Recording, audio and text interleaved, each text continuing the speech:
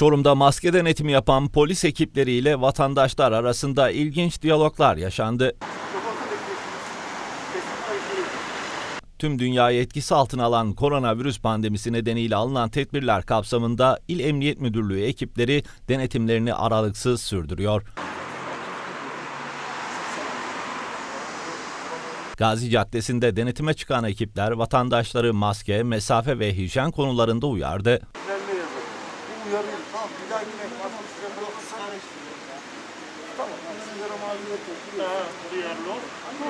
Maskesizlere ceza yazılırken polis ile vatandaşlar arasında ilginç diyaloglar yaşandı. Daha önce maskeyle ilgili uyarı Şimdi geldim abi. Şimdi şey yaptım. İki Daha dakika olmadı önce ya. maskeyle ilgili uyarı aldınız. abi. Yok almadım. Tamam ben, ben bu uyarı oluşturdum. Ceza yazmıyorum. Hayır bu evin dışında takacaksın. Vallahi şimdi şey yaptım ya. Bunaldım ya. Yok şeyden geldim. Taksi kurtarım İki dakika olmadı ya. Paket servisi yapan bir genci durduran polis maskesiz olması nedeniyle ceza yazdı. Ardından beklemek istemediğini söyleyen genç polisle tartıştı.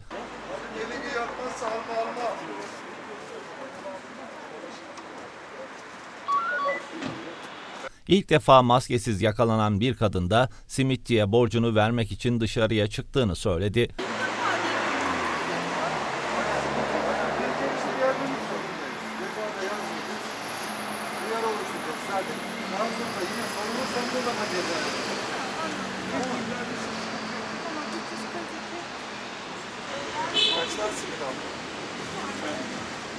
Diğer taraftan İl Emniyet Müdürlüğü denetimlerinin sıklıkla devam edeceğini bildirdi.